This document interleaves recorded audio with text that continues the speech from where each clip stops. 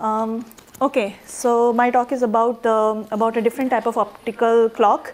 Um, so the journey of time precision is very, very long. So it starts from an hour hourglass to nowadays we have optical lattice clock which has a stability of 10 to the power minus 18. So what triggers uh, this development of, uh, of passion for precision is, is that by improving our time measurements we are actually uh, improving many things. So for example, we have many applications like we are improving our global, uh, uh, global navigation system, GPS, and uh, we can uh, we can synthesize many stable frequency sources which nowadays we use in our lab to synchronize many uh, many devices. And uh, we can do uh, more accurately precision measurement to measure to determine physical constants like Rydberg constants alpha, um, hyper uh, sorry fine structure constants etc so all this invention has been made possible with the invention of frequency comb, which is nothing but a pulse laser which emits a train of pulse. And if you do a Fourier transform of pulse train, then you will see that it's, uh, it's it generates discrete frequency lines in frequency domain. And these lines are separated by a repetition rate. So here each of this line can be represented by this formula. Um, yeah. Uh, oh yeah, can be represented by this formula uh, n into f repetition rate plus FCO. So here you can, so what makes frequency comb so special is that the all these lines are in terahertz domain, like in optical domain, and it gives a link between an optical domain to an RF, RF domain. So you can measure optical frequencies because there are no photodetector in optical domain. So you can measure the optical frequencies by measuring actually RF frequencies.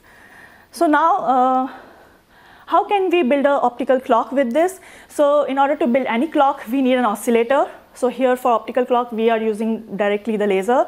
And then you need to interact it with a, you need a frequency standard, which are atom in our case, because atoms are, um, atoms are uh, less disturbed by the environment.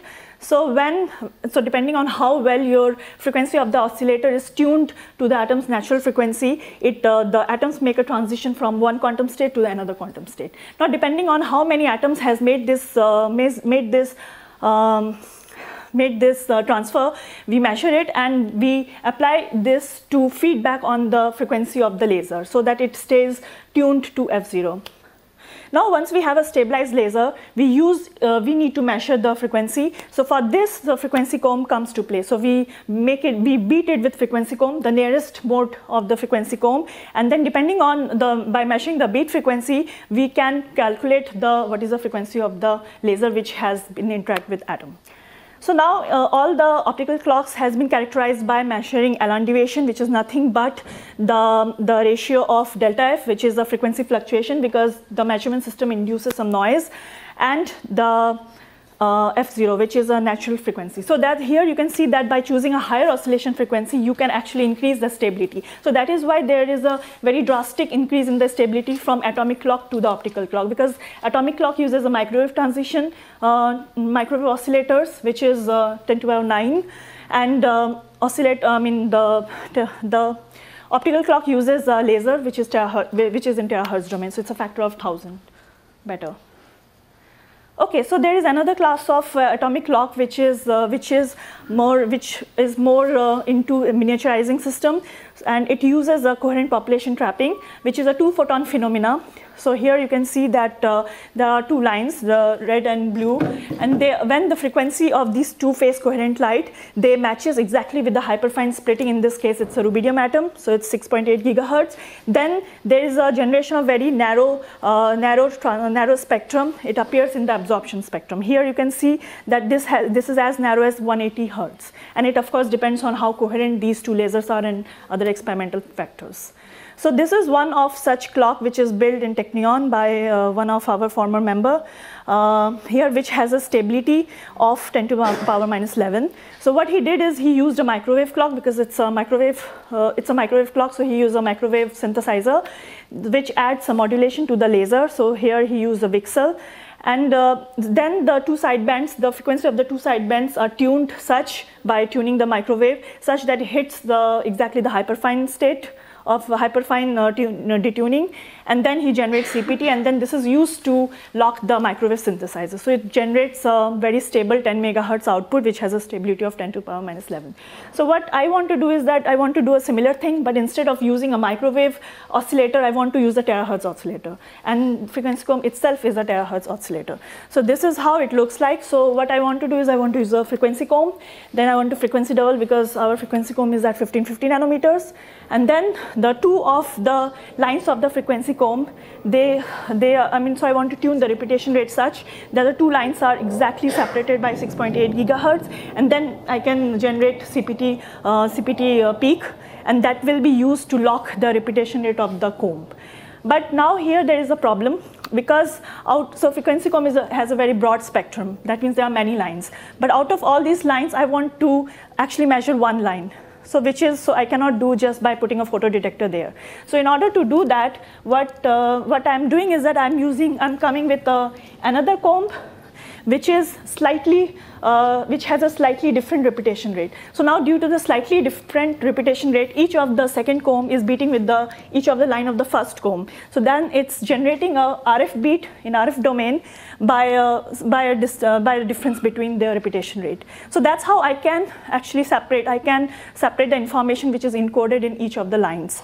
And uh, so this is what our plan is, and this is how it looks like. So I tried, I put the rubidium atom into the path of one of the comb, and okay, right now it's not very nice, but you can see that still I can see some dips due to the rubidium atom. So I, it's just first measurement, so I'm trying to improve on it.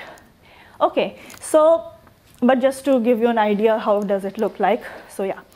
Okay, so this is how my setup looks like. So I have a two comb, um, two combs, and uh, so these, they are frequency doubled. Then, uh, then one comb, it passed through the rubidium atom to generate the CPT transition, and then they are mixed in the beam splitter, and then I generate error signal, and then it, is, it will be used to uh, lock the comb, the first comb.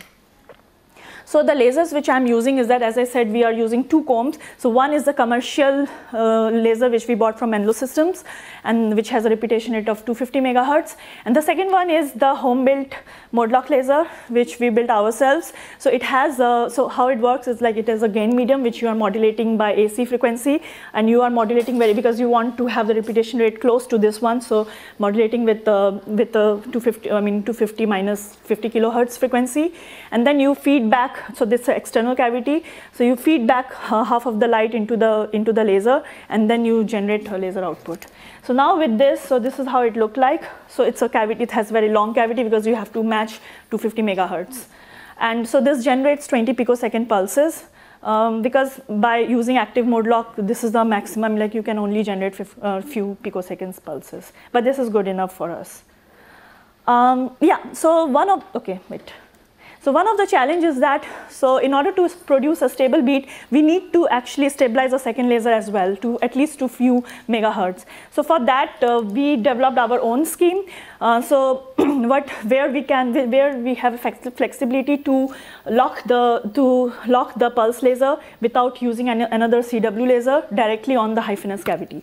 So how it works is that you have a pulse laser, you shine it through the cavity. We are using cavity as a filter because the only light which are resonant with the cavity can only pass through and then it's detected. So how it works is, yeah, so uh, yeah, so how it works is that, so here is the, so around the resonance, the, there is a phase change of uh, minus pi by 2 to pi by 2 and uh, we add a small modulation to detect this phase and this uh, gives us a derivative signal which is shown there and this is used, this is derivative signals are very ideal to use for the locking purpose. So that's how we feedback on the external cavity of the laser which I shown before. Okay, so, so, okay, so by after locking, we can reduce the line width by a factor of four, but we are trying to improve on that. So this is 230 kilohertz, but it's uh, good enough to proceed with the idea.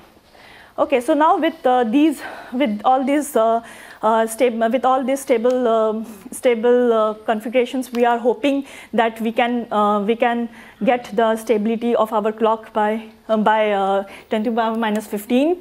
But uh, since the comb has many lines, so there might be perturbation caused by other lines uh, due to the light shift because they are very close in frequency, like separated by 250 megahertz. So, so we are expecting that they might can uh, cause, they might broaden the CPT spectrum, which can reduce a factor of 10, but this is something we have to try. And also there are, in literature, there are methods to compensate for that.